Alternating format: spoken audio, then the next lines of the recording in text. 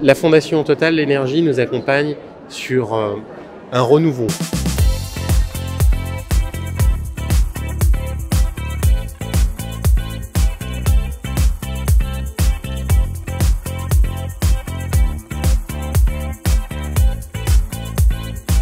SNSM est donc une association de 1901 qui repose essentiellement sur des bénévoles. Donc ça veut dire qu'aujourd'hui, euh, nous avons deux grandes branches d'activité.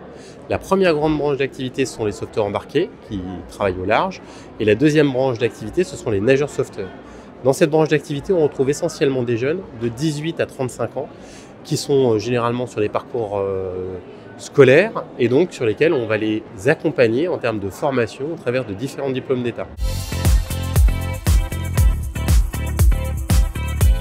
Le renouveau, depuis 14 ans, nous sommes accompagnés euh, euh, au travers de ce mécénat qui nous a permis aujourd'hui de concevoir, développer des équipements de protection qui accompagnent nos bénévoles tout au long de l'année, mais pas que, puisqu'il y a également euh, la formation.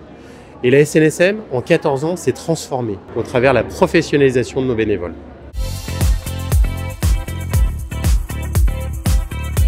Le thème Faire Alliance, c'est plus que ça. Pour moi, ce partenariat revêt un un élément clé, c'est la transformation. La transformation de notre association grâce à ce soutien au travers de euh, l'image, au travers de euh, la formation et au travers de la sécurité et des équipements individuels de, de sécurité de nos bénévoles.